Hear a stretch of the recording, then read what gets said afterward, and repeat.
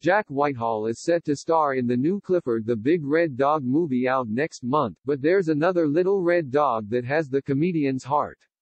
The Bad Education star was recently named as Britain's best paid celebrity, overtaking Bradley Walsh, making his cockapoo, Coco, one of the luckiest pampered pups in the UK.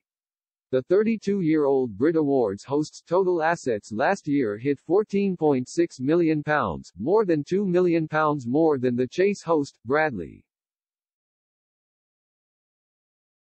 Earlier this year Jack splashed out £12 million on a new home with model girlfriend Roxy Horner, where he lives with the curly-haired puppy.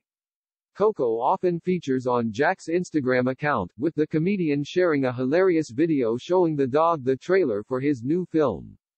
The caption read, Thought I'd share the Clifford trailer with Coco. Fair to say, she was a tough crowd. The dog completely turned her back on the screen as Jack said, Bit rude, isn't it? From behind the camera, Roxy added, Do you not like it, Coco? I know there's another dog on the TV but you can't be that jealous. Yes, I hang around with other dogs, Jack quipped, is it my American accent?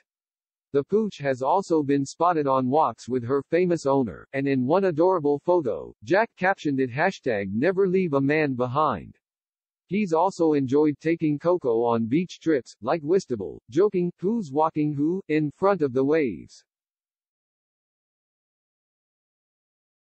Clifford the Big Red Dog, which will be released on November 10, isn't Jack's first film with a canine cast. In 2019, he starred in The Queen's Corgi as Her Majesty's favorite pet Rex, who ends up lost from the palace and has to embark on an adventure to get home, making new friends along the way. In the movie, which has a 4.8, 10-star rating on IMDb, also features dog lover Sheridan Smith, Ray Winstone and Matt Lucas. Posting about the new movie on Instagram. Jack wrote, If you can suspend your disbelief enough to buy a world in which, get this, I have an American accent, then you will love this movie. The story sees little girl Emily Elizabeth meet a magical animal rescuer who gives her a small red puppy, only to wake up and find a 10-foot tall Clifford towering over her in her small New York apartment.